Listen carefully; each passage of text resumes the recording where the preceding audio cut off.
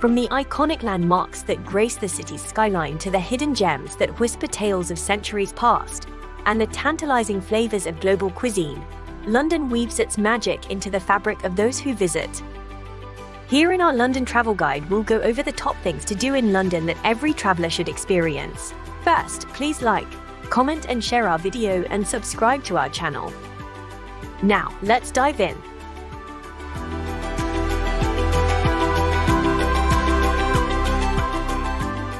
Iconic London needs no introduction. Picture yourself standing in the shadow of the towering Big Ben, watching the changing of the guard at Buckingham Palace, or walking through centuries of history at Westminster Abbey. First start with a stroll down gorgeous Pavilion Road in Chelsea, just steps from the Sloane Square Tube station. It's a picture-perfect London street, lined with shops, restaurants, cafes and boutiques. It's going to be a long day, so why not start by grabbing a coffee and gourmet donut from Bread Ahead, brainchild of founder Matthew Jones. Bread Ahead is not only a great bakery, they offer incredible baking courses at locations across the city and now around the world with locations in Dubai and Jeddah. For restaurant and bar options, let's stay in Sloane Square for now. The Botanist is a trendy and elegant place for some of the best handcrafted cocktails in town. Just across the street is the incredible Colbert, a French cafe with an incredible bar and menu to match. Request to sit on the terrace for a truly London experience. A few minutes walk down King's Road, you'll find Duke of York Square. You'll find lots of great dining and shopping choices. In summer, the outdoor space is a must, and when it gets a bit chilly, it's still awesome, with heaters to keep you snug. Venturing a bit further, a visit to the Shoreditch is a must for food and cocktail lovers. Young and fashionable, here you'll find some of the hippest places to eat and drink in all of London. Cheap, cheerful and tasty. Stop in at Troy Bar, the Caribbean feel is a nice change from the more British spots. Their jerk chicken and a beer makes for the perfect lunch. If flavour is your thing, you won't want to miss Smokestack, where you dine off metal plates savouring the best barbecue in all of London. If you're looking to fancy it up a bit, check out the Coral Room at the Bloomsbury Hotel. Besides being a feast for the eyes, the cocktails are off the chart, and you'll feel like a movie star as you sip from a selection of English sparkling wine. For sightseeing, we all know about the classic places like Piccadilly Circus, the Tower of London and Buckingham Palace. In this video, let's cover some of the top things to see in London that might not be on your radar. First up, Sir John Soane's Museum. It's hard to properly describe. The museum is built in the home of Sir John Soane, one of England's most important architects. Quirky, incredible, and staggering are words often used, but you won't quite get it until you visit. Kept exactly as it was when he died in 1837, the museum is a respectful hodgepodge of ancient sculpture, paintings, furniture, and pretty much anything else that interested him. Also, take time to stroll Lincoln's Inn Fields, the largest public square in London. Next to visit in London is the East End. If you really want to step back in time, in a real neighbourhood, London's East End is the place to do it. Sure, it's famous because of Jack the Ripper, but it's so much more home to one of the all-time best markets anywhere. Old Spitalfields Market is a destination of its own with a history to match. And it's at this market that one of my favorite walking tours departs, Eating Europe's East End. A combination walking history tour with food and drink. I love the way our guide brought the East End to life, and the tasting stops were woven perfectly into the story. Up next is Hampton Court Palace, You'll definitely pass Buckingham Palace, and you might even see the impressive changing of the guards. But for those of us who want to get up close to historic palaces, it's simply not enough. But a journey to Henry VIII's Hampton Court Palace does the trick. Just a short ride from London via the National Rail, the palace allows you access to one of the most important royal residences in history. Visit the Great Hall, the famous Tudor kitchens, and the Baroque Palace of William and Mary, all in one palace. And if you're traveling with kids, they will love it. There's a dress up station, an outdoor maze, and acres of pop grounds to explore, plus ice cream stands and cafes. If you need inspiration on where to stay in London, look no further.